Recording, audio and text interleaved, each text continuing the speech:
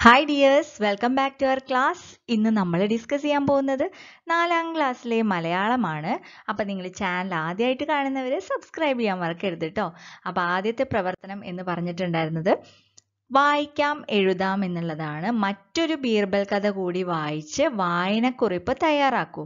അപ്പോൾ വായനക്കുറിപ്പ് തയ്യാറാക്കുമ്പോൾ കഥയുടെ പേര് വേണം. എഴുത്തുകാരന്റെ പേര് അറിയുകയാണെങ്കിൽ എഴുതുക. അതുപോലെ തന്നെ ഏത് വിഭാഗത്തിൽ പെട്ടതാണെന്ന് എഴുതണം. കഥാപാത്രങ്ങൾ എഴുതുക ആശയം അതുപോലെ തന്നെ ഇഷ്ടപ്പെട്ട ഭാഗം സ്വന്തം അഭിപ്രായം. അപ്പോൾ ഇതെല്ലാം ഉൾപ്പെടുത്തി വേണം നമ്മൾ വായനാക്കുറിപ്പ് തയ്യാറാക്കാൻ വേണ്ടിയിട്ട്.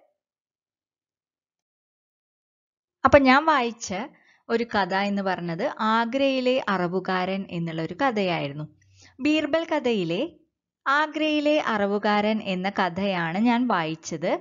ഈ കഥയിലെ പ്രധാന കഥാപാത്രങ്ങൾ ഒരു അറവുകാരനും ധനികനും ബീർബലുമാണ്. അറവുകാരൻ ഒരു സത്യസന്ധനായിരുന്നു. ധാരാളം പേർ അയാളെ പറ്റിക്കുമായിരുന്നു. ഒരു ദിവസം ഒരു ധനികൻ മാംസം വാങ്ങാൻ ബീർബൽ വന്നപ്പോൾ അറവുകാരന്റെ പണക്കിഴി അയാൾ മോഷ്ടിക്കുകയും അത് ബീർബൽ ഇടപെട്ട് വാങ്ങിക്കൊടുക്കുകയും അയാളെ കൊണ്ട് നഷ്ടപരിഹാരം കൊടുപ്പിക്കുകയും ചെയ്തു. ആ പണസഞ്ചിയിൽ രക്തം പുരണ്ട നോട്ടുകൾ കണ്ടപ്പോഴാണ് ബീർബലിന് ഈ ഒരു സത്യം മനസ്സിലാക്കാൻ കഴിഞ്ഞത്. അതുപോലെ തന്നെ അത് തെളിയിക്കാനും കഴിഞ്ഞത്. എപ്പോഴും നാം സത്യസന്ധരായിരിക്കണം. സത്യസന്ധത വിജയിക്കും എന്നാണ് ഈ കഥയുടെ ആശയം. ആഗ്രയിലെ അറവുകാരൻ എന്ന ഈ കഥ എനിക്ക് വളരെയധികം ഇഷ്ടപ്പെട്ടു. ബീർബലിന്റെ ബുദ്ധിശക്തി വീണ്ടും നമുക്ക് കാണിച്ചു തരുന്ന ഒരു കഥയായിരുന്നു ഇത്. ബീർബൽ കുറ്റം തെളിയിക്കുന്ന രീതിയും വളരെ വ്യത്യസ്തമായിരുന്നു. ഈ കഥയിൽ ബീർബൽ അറവുകാരന്റെ സത്യം തെളിയിക്കുന്ന ഭാഗമാണ് എനിക്ക് ഇഷ്ടപ്പെട്ടത്.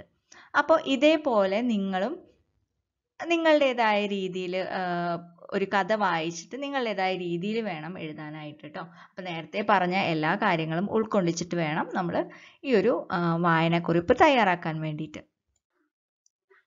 അടുത്തത് ഒരു ജീവചരിത്ര കുറിപ്പ് തയ്യാറാക്കാനായിരുന്നു ജി മോഹനകുമാരിയെ കുറിച്ച്. ജി മോഹനകുമാരി ആയിരത്തി തൊള്ളായിരത്തി അൻപത്തിയേഴ് നവംബർ ഒന്നിന് കൊല്ലം ജില്ലയിലെ കൊട്ടവറ്റത്ത് ജനിച്ചു. കേരള ബാലസാഹിത്യ ഇൻസ്റ്റിറ്റ്യൂട്ടിൽ അസിസ്റ്റന്റ് എഡിറ്റർ ആയിരിക്കുമ്പോഴാണ് രണ്ടായിരത്തി പതിമൂന്നിൽ ജോലിയിൽ നിന്നും വിരമിച്ചത്. തളിര് എന്ന മാസികയുടെ എഡിറ്റർ ആയിരുന്നു. കഥ ജീവചരിത്രം വൈജ്ഞാനികം എന്നീ മേഖലകളിലായി പത്ത് ബാലസാഹിത്യ കൃതികൾ പ്രസിദ്ധീകരിച്ചിട്ടുണ്ട്. നൂറോളം ബാലസാഹിത്യ കൃതികൾ മലയാളത്തിലേക്ക് പരിഭാഷപ്പെടുത്തിയിട്ടുമുണ്ട്. കുട്ടികൾക്ക് വേണ്ടി മുന്നൂറോളം പുസ്തകങ്ങൾ എഡിറ്റ് ചെയ്തു. അപ്പോൾ ഇനിയും നിങ്ങൾക്ക് കൂടുതൽ വിവരങ്ങൾ കിട്ടുകയാണെങ്കിൽ ഇതിൽ ഉൾപ്പെടുത്താവുന്നതാണ് കേട്ടോ പിന്നെ അടുത്തൊരു ചോദ്യം എന്ന് പറഞ്ഞാൽ വാക്യങ്ങൾ കണ്ടെത്താനായിരുന്നു. ഈ ഒരു പാഠത്തിൽ ഈ ആശ്ചര്യചിഹ്നവും അതുപോലെ ഈ ഒരു ചോദ്യചിഹ്നവും വരുന്ന വാക്യങ്ങൾ പാഠഭാഗത്ത് നിന്നും കണ്ടെത്തി നിങ്ങളുടെ നോട്ട് ബുക്കിലേക്ക് എഴുതി എഴുതി നിങ്ങളുടെ ടീച്ചർക്ക് അയച്ചു കൊടുക്കണം. അത് നിങ്ങൾക്ക് തന്നെ ചെയ്യാവുന്നതേ ഉള്ളൂ അല്ലേ അപ്പോൾ അതെല്ലാം ചെയ്ത് നിങ്ങൾ ടീച്ചർക്ക് അയച്ചു കൊടുക്കുക കേട്ടോ അപ്പോൾ ഈ ഒരു ചോദ്യങ്ങളും അതുപോലെ തന്നെ ഈ പ്രവർത്തനങ്ങളൊക്കെ നിങ്ങൾക്ക് മനസ്സിലായിട്ടുണ്ടെങ്കിൽ നിങ്ങൾക്ക് ചെയ്യാൻ പറ്റും. അത് ഉറപ്പാണ്. നിങ്ങൾക്ക് എന്തായാലും ചെയ്യാൻ പറ്റും.